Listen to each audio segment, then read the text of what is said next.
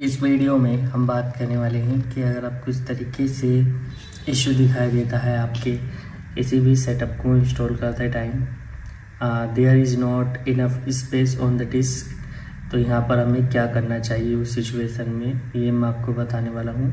तो वीडियो को आप पूरा ज़रूर देखिएगा।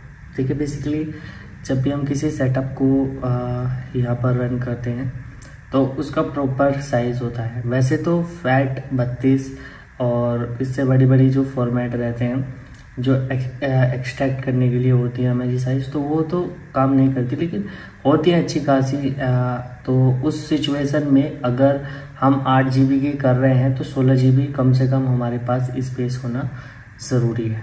ठीक है? तो मेन इम्पोर्टेंट थिंग ये है। अब मैं यहाँ पर इसको जो है एक्सपोर्ट करके आपको दिखाता हूँ। एंड तब एक्सपोर्ट करूँगा, जब इसका सोल्यूशन करूँगा तो ध्यान से देखिएगा। अब जैसे यहाँ पर एक सेटअप है इसको हम इंस्टॉल कर रहे हैं ठीक है?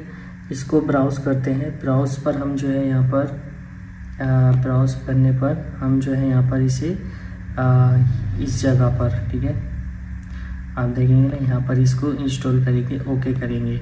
अब इसमें एक्सट्रैक्ट करते हैं हम ठीक है? और सबसे पहले तो यहाँ पर ये वाली अगर अपने कभी इसको पेस्ट कर रखा होगा तो ऐसा लिखा हुआ आएगा।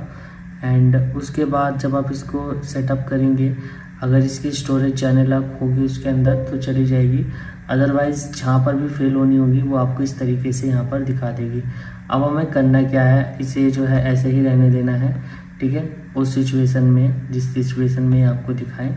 आपको फिर यहाँ पर दिस के अंदर जाना है और यहाँ पर इस पर जाना है और यहाँ पर एक आधी फाइल्स को यहाँ पर डिलीट कर देना है। जैसे कि मैं यहाँ पर किसी फाइल्स के अंदर जाता हूँ और एक इसको डिलीट कर देता हूँ। ठीक है? तो यहाँ से थोड़ी सी आगे भी चलेगी। तो जैसे हम इस पर टिक करते हैं और इसे यहाँ से डिलीट कर देते हैं। अब यहीं पर मैं ये वाला एक्सट्रैक्शन भी खोल लेता हूँ रिट्राई करता हूँ।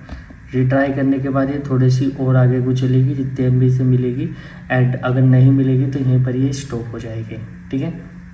और अगर इतने ही एमबी में ये पूरी जानी होगी तो ये कंप्लीट हो जाएगी। देखिए, बिल्कुल स्टोरेज का इशू रहता है। जब भी आप इस प्रोसेस को करें तो स्टोरेज अपनी कम से कम खाली रखिएगा ज़्यादा से ज़्यादा, और फिर आपको ये दिक्कत देखने के लिए नहीं मिलेगी। तो ये प्रोसेस रहता है इसका सिंपल सा। अगर वीडियो अच्छी लगी हो तो लाइक कर दीजिएगा और चैनल को सब्सक्राइब भी कर दीजिएगा।